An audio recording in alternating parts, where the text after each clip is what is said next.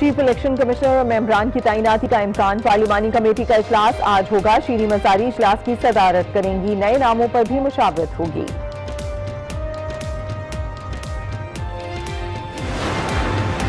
कराची की green line जल्द दौड़ेगी। फरवरी में इफ्तः का इम्कान। वज़ीर इमरान खान कराची आएँगे। आइंदा माह मुख्तलिफ़ तरक्याती मनसूबों का इफ्तः करेंगे।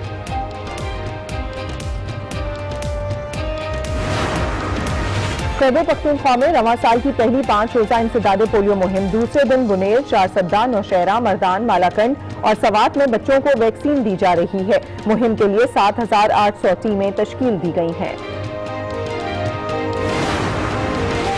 खैबर पख्तूनख्वा में जबता दीवानी और नारकोटिक्स, तरामीम के खिलाफ वकला सरापा एहतजाज। सात दिन से बार काउंसिल की हड़ताल जारी। अदालतों से भी बाइकआउट का फैसला, खिलाफ वर्जी करने वाले वकीलों के खिलाफ कार्रवाई होगी।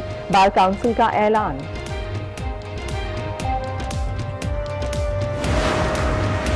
सुई सदन गैस कंपनी के सिस्टम में मामूली बेहतरी सिंध में सीएनजी स्टेशन आज रात 10 बजे खोल दिए जाएँगे। बुध की सुबह 6 बजे तक गैस फराम की जाएगी।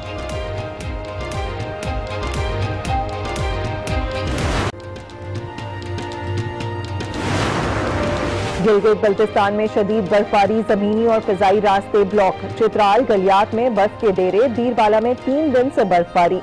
बालाई इलाकों में मुख्तलिफ़ रास्ते बंद हो गए। आज़ाद कश्मीर पर बर्फ़ का कब्जा, मुजफ्फराबाद नीलम रोड बंद हो गया बाग हवेली रोड और लीपा रोड पर ट्रैफ़िक मौतल रावलाकोट रावलपिंडी रोड पर लैंड स्लाइडिंग सड़क बंद होने से मुसाफिरों को परेशानी का सामना।